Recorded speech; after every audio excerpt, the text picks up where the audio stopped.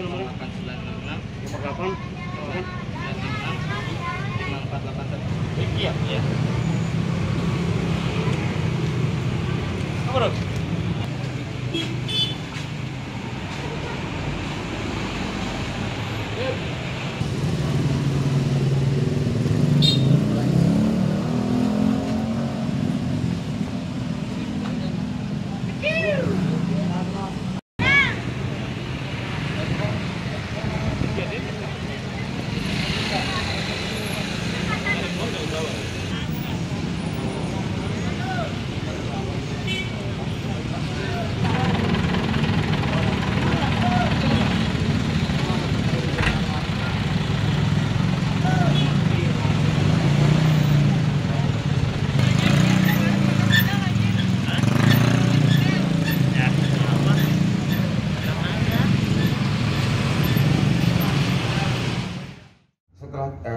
kita lakukan pemeriksaan terhadap 10 saksi-saksi, kemudian kita berkoordinasi dengan Polres Metro Tangerang Kota, kemudian kita datangkan lapor untuk melakukan pemeriksaan penyebab adanya kebakaran itu secara forensik.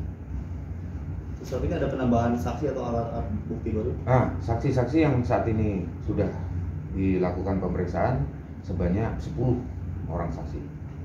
Kalau indikasinya apa sih Pak Kapolsek bisa dijelaskan Pak? Eh, indikasinya sedang kita dalami, Hmm. mengingat menimbang semua informasi itu perlu kita ungkap eh, ada tidaknya pidana yang terjadi dalam rangka peristiwa kebakaran tersebut. Tapi dari hasil olah TKP ada unsur kesengajaan nggak sih Pak dari kebakaran tersebut?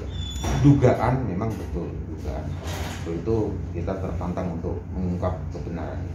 Kalau masih awal ada cekcok-cekcok sebelumnya sebelum kebakaran? Iya, informasi dari eh, para saksi yang sudah kita lakukan pemeriksaan betul ada eh, cekcok antara eh, salah satu korban dengan pacarnya.